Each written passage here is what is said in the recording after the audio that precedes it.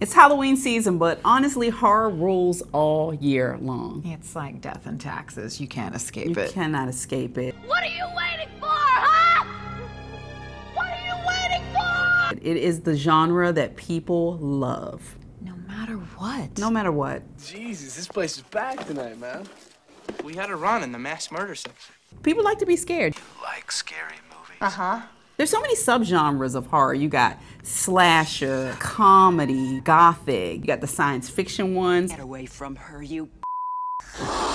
There's so many different types of horror. There, there feels like there's something to scare just about anybody. Bro, how you not scared of this, man? You like to be scared? No. I don't either. Why are we talking about horror? But you know, horror has really evolved over time. Yeah. The first horror film that we know of was actually a silent picture in 1896. It has a French name. I'm not even going to try to say it, but it was translated into House of the Devil and the Haunted Castle. It was about a bat, and the bat becomes a demon.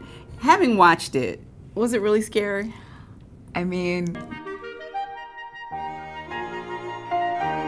No. I, I watched it twice because I was like, I missed it. And you get afraid of everything. I know. This is the one horror film I'm not afraid of. Bro, how are you not scared of this, man? The 1920s and 30s were really a golden age of horror. That's where we had Frankenstein, we had The Mummy, we had the first color adaptation of Dr. Jekyll and Mr. Hyde. Free at last. In the 1940s and 50s, Alfred Hitchcock ruled it all. Oh, the godfather of horror, in my opinion. You had the rear window, the birds, which made me afraid to even go outside. But of course, there's also the ultimate psycho. Psycho is my first attempt at a shocker. I, the shower scene.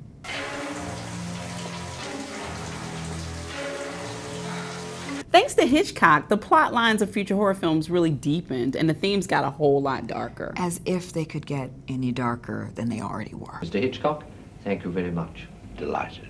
In the 1970s and 80s, a lot of the horror films involved the occult.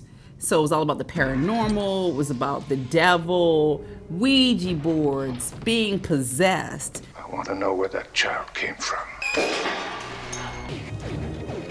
Ghosts came into everybody's house. I mean, like Amityville Horror. Like, Yeah. Why did you people even buy houses in the 70s and 80s? Because I just felt like every house that was up on the market had some demon living Yeah. in the house. What do you think? I love it. And and The Exorcist, I, I couldn't sleep for I'm gonna say months because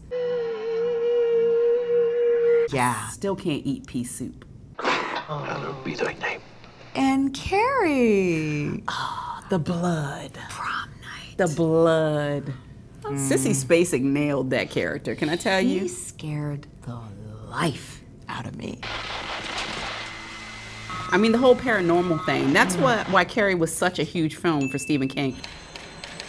Oh my gosh. The Shining. I mean, red rum. Red rum. Don't get Red any Rum. closer. I'm scared. Jack Nicholson, Oh. that, that now iconic image of him with the honey I'm home coming through the door. Yes. Here's Johnny. And the smile that you just didn't want to see. But also, you gotta shout out Shelley Duvall. She's pretty creepy. Oh, she carried that whole entire film. My favorite thing was the twins, the two little girls that were like, you know, come play with us forever and ever and ever, or whatever they said. I just remember like from that film. Yes. Every time I would see twins after that, I'd be like, are they real or are they ghost twins? Can't be too careful. 1999, the Blair Witch Project came out, and a lot of people mm-hmm. thought it was real because that's how it was presented. Absolutely. That film really played with your mind. It wasn't so much about violence and gore, mm-hmm. it was more like the psychological thing. I think those are the ones that are most scary to me. Because they feel a little too real. Right, and it was set in Maryland. I'm from Baltimore, so I was like, hello. I was like, where are these woods? So I know to never, ever go there. What messes with me even more is movies like Scream. Hello, Sidney. Because I'm laughing. It's a parody, but Right. at the same time, people getting killed. Why do you want to know my name? I want to know who I'm looking at. I have a love hate relationship with Scream because I, I really am always freaked out in each scene, but I'm in the middle of the freak out. I'm like, oh wait, am I supposed to laugh? Because like other people are laughing, but yet my freak out lasted a little longer than others. There's a formula to it. A very simple formula. The parodies like Scream, you know, Yeah. gave us scary movie. Oh my god, I'm gonna die next Monday? Yes. No, wait, Monday. That would be seven business days. This is seven days starting now.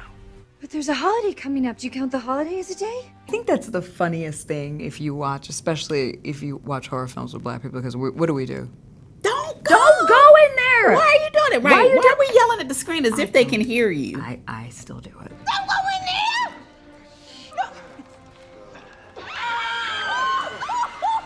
Scary movie really kind of played on that, like this whole thought that black people know better than to, oh, I don't know, like go into woods because you hear noise. I never get that. Like, What's that? I think I'm gonna go investigate by myself in the dark. never gonna happen. Never gonna happen. No. There's a monster chasing me! What are we gonna do? I've got it. We shifted from the vampires and the monsters to now the boogeyman is racism, thanks to Jordan Peele. Sink into the floor. Wait, wait, wait, wait, wait. Sink. Well, you know, real life is sometimes scarier than fiction. Absolutely, especially in the 21st century. In Get Out, Jordan Peele was such a genius because if you watch that movie, racism is the horror. There's too many white people. I get nervous.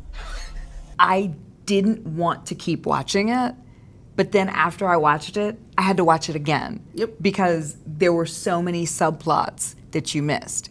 I think it's very layered, and it of course has now given us the phrase of a black person being in the sunken The place. sunken place. I find that the African American experience for me has been, for the most part, very good. Jordan Peele, of course, also was involved in the remake of Candyman. If we say his name five times while looking in the mirror, we could summon him. Summon the Candyman. Hell no. I interviewed Vanessa Williams, who starred in both the original Candyman and the remake. Of course, Mr. Peele is well known for how he infuses racial and cultural commentary in horror. What are your thoughts about that, particularly in this film? he says it so succinctly, and I love to quote him when he says, At the center of Candyman is the eternal dance between the monster and victim and the racialized history of this country. You can't get more succinct than that. And that's exactly what it is. As we unpack the Candyman history, uh, you know, Colman Domingo's character says that Candyman is not you know, a person, it's the whole damn hive.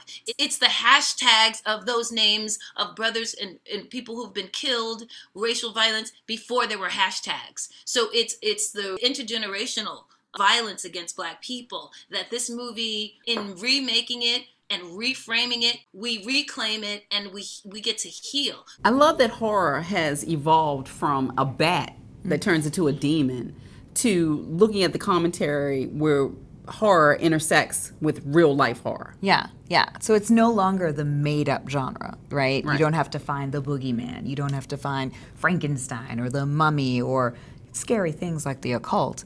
Now we've like blended into real life. But do you think that's do you think people want that form of horror? Do we like the escapism aspect? I mean, if it's if it feels too real, is it still horror?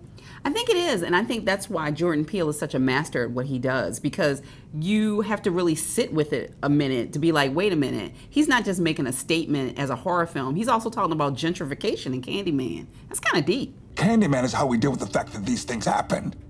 That they're still happening. A story like that, a pain like that, lasts forever. Don't forget to hit that subscribe button. We drop new episodes every Saturday. And if you want to sign up for my newsletter, go to cnn.com slash poplife.